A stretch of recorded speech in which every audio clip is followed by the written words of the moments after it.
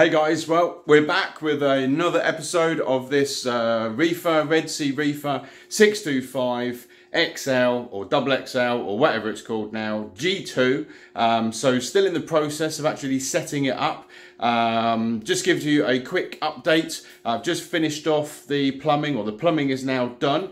Um, but uh, what I'm going to show you just quickly is with regards to the return pump. Um, and just a little thing there uh, doesn't obviously mention it in the instruction manual and if you don't know you don't know but uh, you know if you do then kind of ignore what I'm about to tell you. Okay so with regards to this piece of plumbing here which is going to go into the far left and the far right uh, for the return obviously it's connected and then it goes down and goes into the into your chosen return pump. I've got a Jebao uh, MDC 10,000 litre per hour. And if you want to see some more information on that, then I've done a video on it. It's a beast. It's a great uh, pump. It's very quiet. Really happy with it. Um, at the moment, you can see I'm just using this flexi tubing because that's all I had on it before with the old uh, 425. Um, eventually, I do want to hard plumb this section. Now, question for anybody out here that's already done it if you know the parts that I need for the hard plumbing for this end piece here and then also down obviously going into the actual pump itself and I've got all the little bits and pieces still in the box upstairs in the attic uh, if you know what I need for that um, give us a shout out in the comments uh, stick it in there um, and that will be great. I really appreciate that. Thank you very much. But for now I've got this uh, flexi tubing um, now a little trick, if you are struggling to get the flexi tubing onto the little end pit, uh, end bit here, then you just use some boiling hot water. You put this into the boiling hot water and it softens it all up and then you can hopefully get it on um, a little bit easier. Also, the other thing is obviously using a decent saw and not a saw that I have. Um, so get a good saw and not a crap saw like Simon but you want to cut the smaller piece off. So if your flexi tubing, if you're using flexi tubing, is larger than the first little bit that was on here, make sure you cut it off because it will restrict the flow otherwise. But yeah, get a better saw than I had. Uh, it, that was a bit crap. Anyhow, that's off now, that's job done. This is all connected. I've got some various wire ties down there. I am going to wire tie this up now before I uh, lift it into the uh, sump as it is and then I can then get these connectors on the ends here uh, and that will slide up and then screw onto what is actually left in there look onto that piece there and then obviously onto that far right hand side one. So I'm going to go ahead and do that. Um, I'm going to then start getting the sand into the tank um, and then start filling up with the water that I've got that's like lukewarm kind of um, what's it, ambient temperature. Um, and uh, I'll chuck a couple of heaters in, make sure it gets up to the right temperature. And then once it's at the right temperature, I'm then going to start putting my rock in and the corals. Maybe the water will be, I don't know, about here, um, somewhere, maybe halfway up. Start getting the rock in. Once all the rock is in, bang a wave maker in, and then I'll probably leave it then, you know, and I'll probably get the fish in the following day. But uh, I'm, I'm in no rush. They're doing well. I've just topped it up as well with some um, RO water. I did put a little mark on the side of the tank there where the water level was when I put the fish in. Um, and I did the same with the two containers with the rock and corals and what have you. So I've been topping them up, keeping a check on the nitrates with my Hanna checker, keeping a check on the ammonia that's in there, and just good visual with the fish as well. What's their behaviour? You know, what are they doing? Um, they all seem to be doing very well. So I'm going to maybe try and set the camera up on the tripod and do a bit of a time lapse uh, while I'm getting the sand in and like pumping the water and stuff in. But if it doesn't look very good when I get to the editing stage, then you won't see it. Right then guys, so we're going to put the sand in now. Um, I've got my three bags of, uh, let me grab one, Carib Sea. What I've gone for uh, is the live sand by Carib Sea. Uh, careful with the scissors, don't want to punch it just yet. Fiji Pink is the one that I've opted for. Now I've gone for three bags. Probably should have gone for four. Don't know, well, it's cost enough anyway. So I've gone for three bags. I can always add another one if I want to in the future. Um, now with this, I'm just going to cut the top off and I'm just going to dump it in. Uh, sort of spread it around maybe a little bit, but I'm not too worried about it because then I'm going to start adding the water. Now obviously there's different ways of adding sand. Um, I've already done a previous video where I've actually added sand to an existing tank because it's been depleted or I just wanted to top it up a little bit more, you know, whatever it might be. So if you're looking at how to add sand um, when the tank is already full of water, then go and see that video and it will talk you through some different sort of options and ways of doing it and then it shows you the one obviously that I do. But for this nice and easy empty tank, I'm just going to dump it in. Um, so hopefully from now on, it might be on a time lapse. So fingers crossed that that works. Let's get cracking.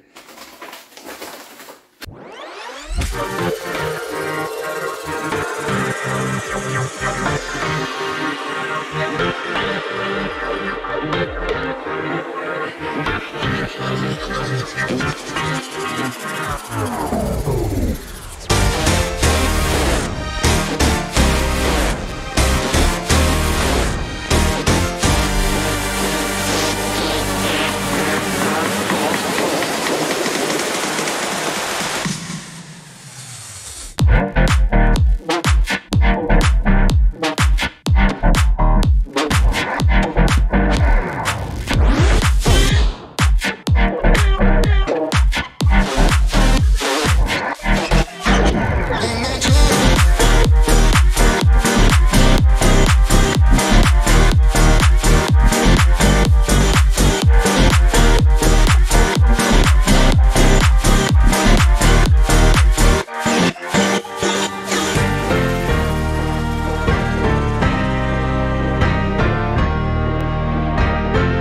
Right, so next step now, as you can see by those time lapse, we've got a decent amount of water in with the sand.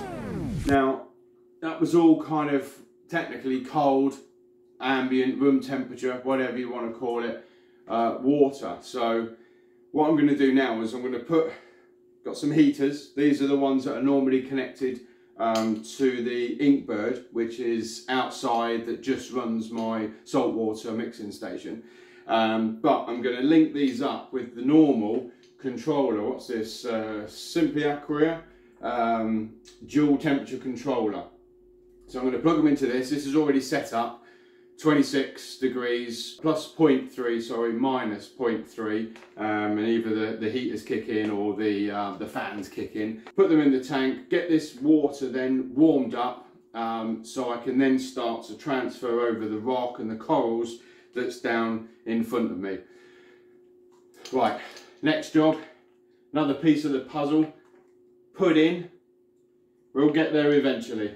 So they're in to get a, a wave maker chucked in at the other end, pointing up, not because I need oxygen or agitation of water, but if it's, if it's pointed down or straight ahead, it's probably going to blow up the sand. So I want to try and minimise that as much as possible. Um, you probably didn't see because it was too fast in the, um, uh, what's it called? When everything goes really, really fast. Time lapse. Um, I've taken out two of these already these come in with the bags of the live sand, um, but I'm not going to put them in. I've got one more to find in there, so remind me, if you don't see me take it out, make sure you put a comment in the comment section below. Did you find that third clarifier? Because nowadays, my memory is, well, it's like a calendar. It just literally pours out. Right, enough talking let me get that wave maker in. Right then guys, so I just thought I'd bring you in for a bit of a closer look. Probably uh, sick of looking at my ugly mug anyway. Uh, yay, that's me boy. Reef drama. Anyway, um, we've got the wave maker in, as you can see. The uh, Jebao SCP-120. But that's literally just to kind of give it a bit of circulation in the tank, well, reflection, sorry guys, because uh, I've got the two heaters in there. Um, can't see the, the light on the second one, but it is, it definitely does work. And you've got beeping, and that's because, and hopefully you can make that out, that started at 19 dead. Um, oh, look at that, it's just dropped. But at 90, so it's, it's gone up by about 0.5, 0.6. Now that's going to keep beeping until it gets up to whatever temperature it was that I set it at um, as that uh, audible uh, warning alarm that the temperature is, is dropping. I probably set it to, I don't know, I'm guessing maybe 23, something like that. Um, so that's going to keep beeping till then. So that's that's fine. That's all right. That's going up. Um, we've got the Seneye, which I've got in the tank with the fish are. Uh, so that's 26.280. So 26.3 nearly. So that's great temperature. Uh, let's have a quick look at the fishies. Yo, Piney. How's it going? Yeah, no likey. No, I know. Fox, not too bad.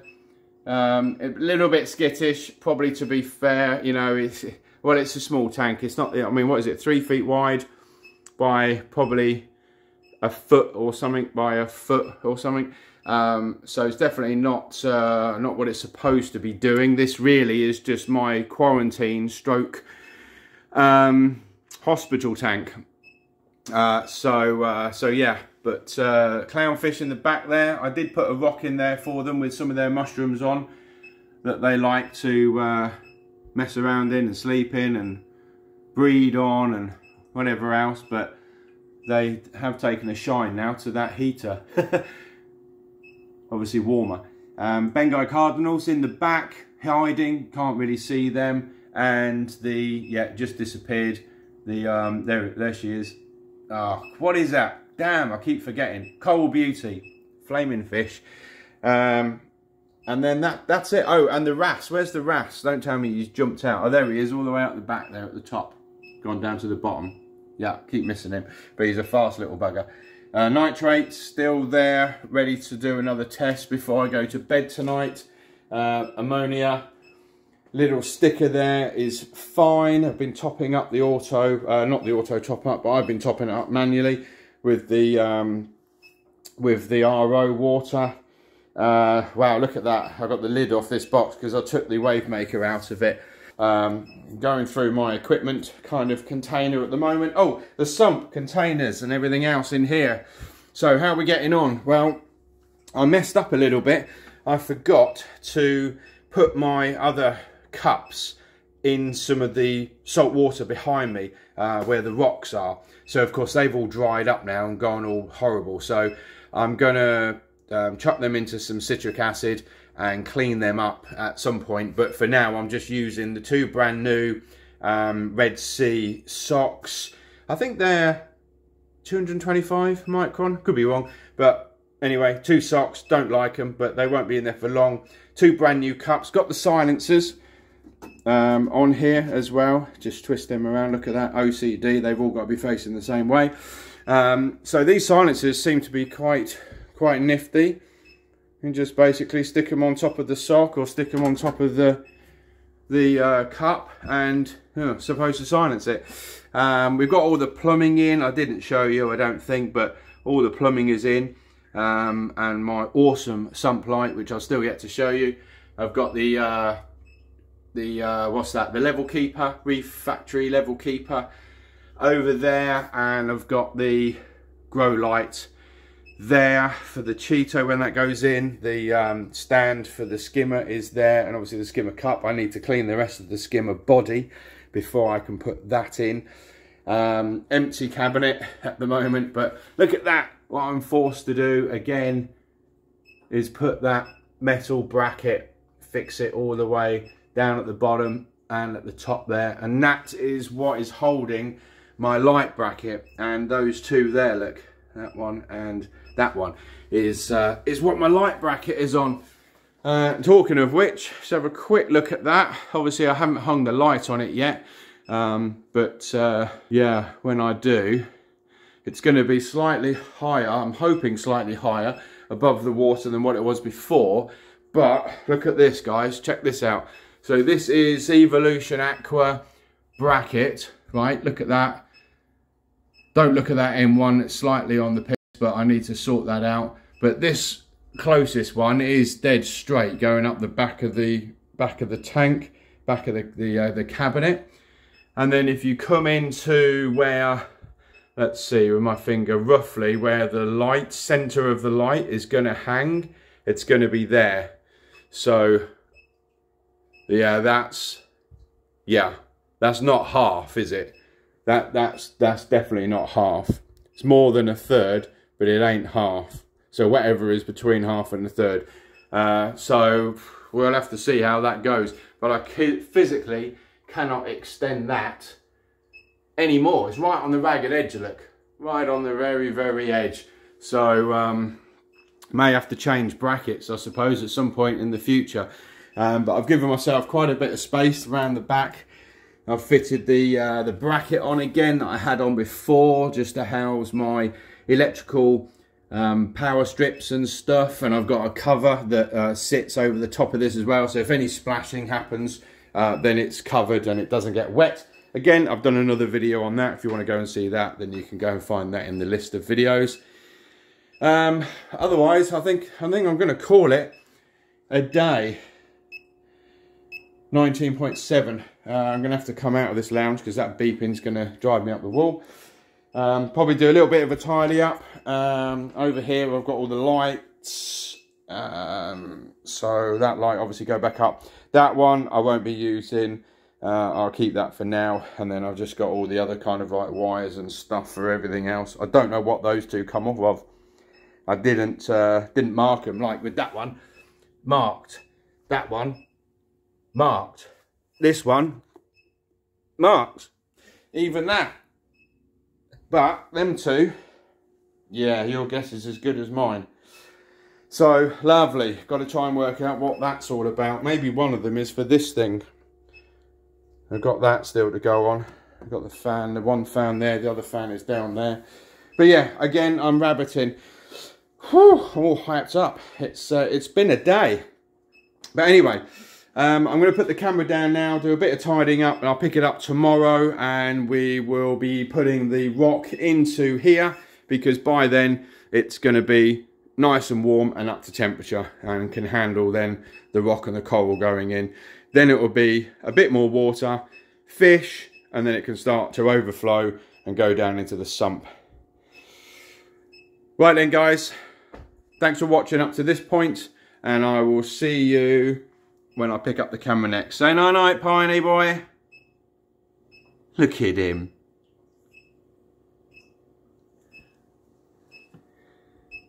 I've not fed him, I think I've said, I've not fed any of these fish since they've been in here, but that's fine, they'll be alright. But he's probably bloody hungry. Night night.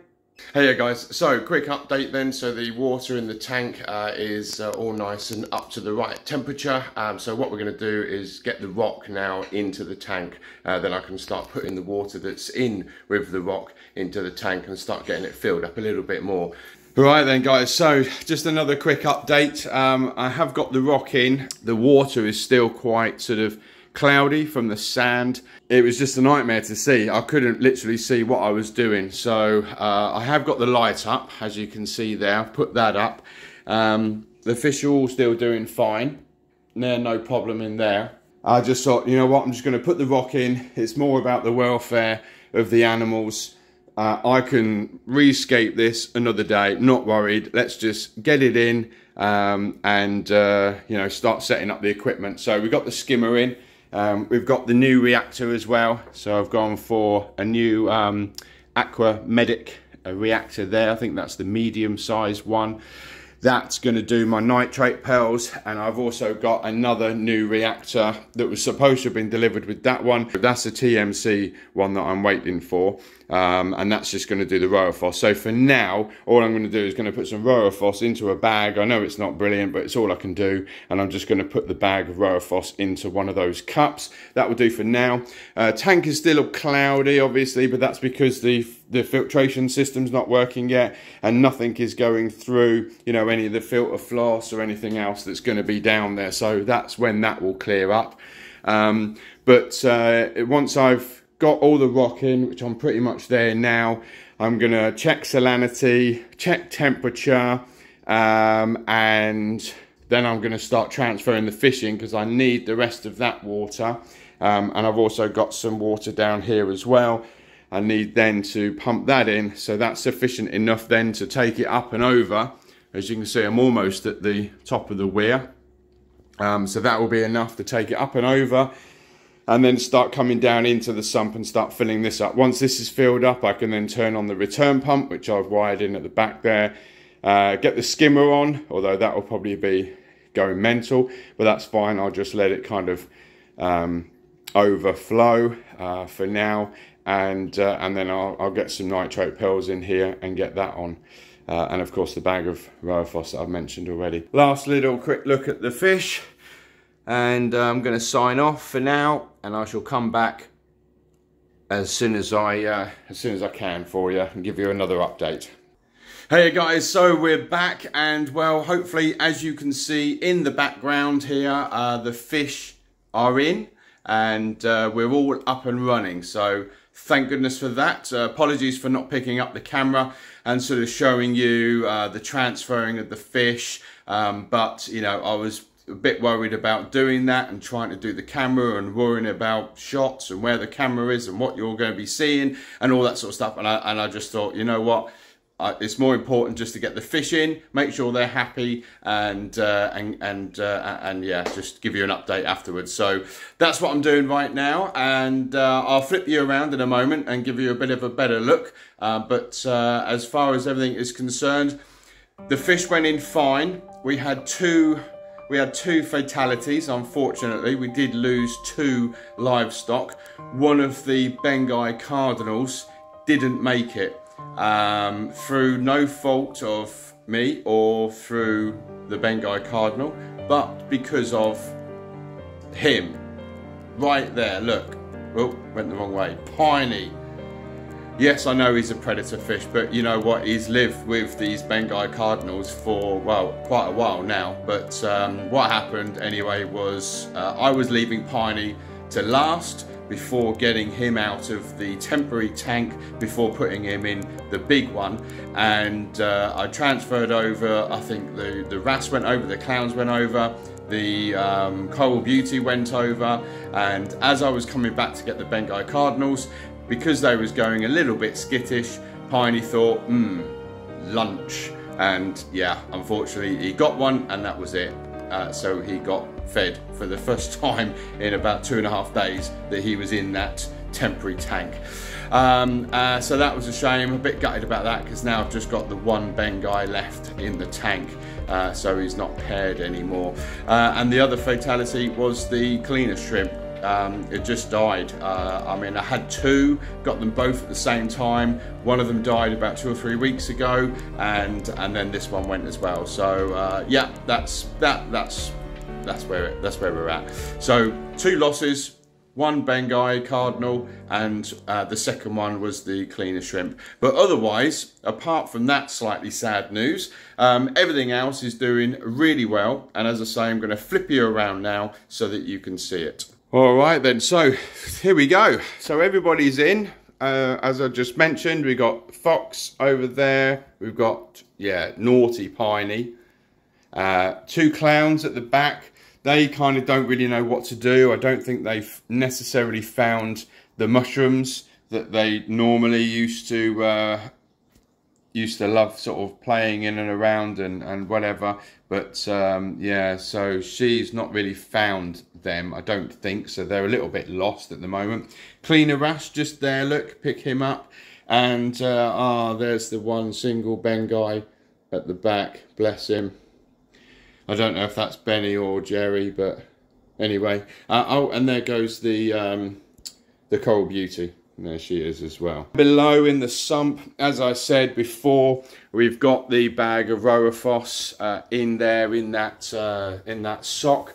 The skimmer is on. Um, it's not really a dirty, dirty colour yet, but um, I need to sort of still fine tune that. And then I've got the nitrate pearls there uh, in the reactor. Uh, this is a Seneye holder what's on the front here is magnetic thing, Seneye holder. So that's probably where the Seneye will end up, is in the sump, so long as I've got enough lead to get it up to the laptop. Um, what else in the back here? See, we've got the return pump and I've also got the two uh, two lots of um, nanotech bio balls in there as well. Uh, my little box down there with some loose kind of mushrooms and what have you on some few little pieces of tiny rock. Uh, oh, and of course the Chato, which is over the back, Cheeto, Chato, however the hell you pronounce it, that's in there as well. Nothing really going on in this side. I've got to fit like a shelf in here or a false back maybe to put some of the controllers on. And I've just got my um, auto doser in there, dosing the alkalinity, which is which is there in that little bottle. Um, so that's pretty much it. Oh, I'll tell you what I have just built and I've just made the lid. So it's a bit of a a cheaper version to the one that I had before on the 425 because obviously I bought that from uh, Reef Tops and uh, I most likely will get another one for this tank at some point but yeah I've already uh, chucked quite a bit of money at this already. Um, but what I did get was this. Look I just bought the DD uh, jump guard DD uh, aquarium cover jump guard whatever you want to call it. Um, so I've just built that and just fitted that onto the top there. Uh, and of course I've got a problem now with my feeders. So I've got one which does the pellets, has to sit all the way up there at the moment and just sort of drop the pellets straight down. And the other one is offline. I'm just going to have to hand feed that um, every day, as long as I kind of remember. Um, so yeah, we're all right. I think we're pretty good. Quick look at the temperature over here on the Seneye we've got 25.9 and down on the um, uh, temperature controller 25.9 so you know that's nice and bang on. My level keeper has put some water in but it hasn't for a little while. Um, that's probably because I've had the water going up and down where I've turned the pump off a few times and turned the skimmer off and whatever else but so we're all right. We're not too bad all right, let me flip you around back to me again. All right then guys, well thanks very much for watching this little sort of mini series. I've done it in two parts just because a bit too much to put it into one part. But uh, thanks very much for watching along. If you have any questions, if you have any comments, please put them into the comment section below. Like the video, share it. That would be awesome if you can do that. And of course, don't forget, if you're not already subscribed, then please subscribe to my channel. Uh, it really does help out and keeps me, as I've said before, motivated to keep going and doing this. Bye for now.